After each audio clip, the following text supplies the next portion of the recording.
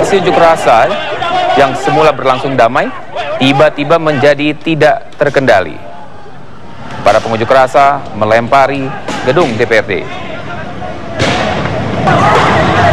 Kericuan di depan gedung DPRD ini pun kembali berlanjut.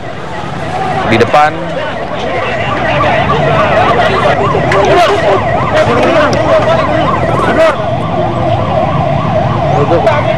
Api, api, api, api, api.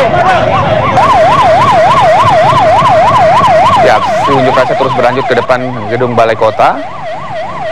Dan akibat kericuan ini polisi menahan sedikitnya 20 pengunjuk rasa.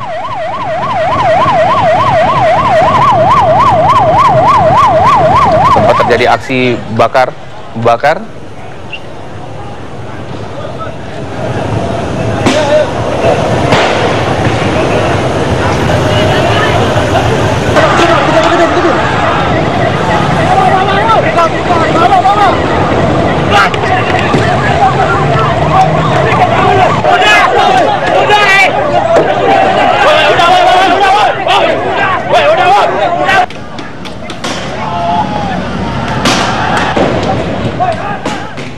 Ya, sampai dengan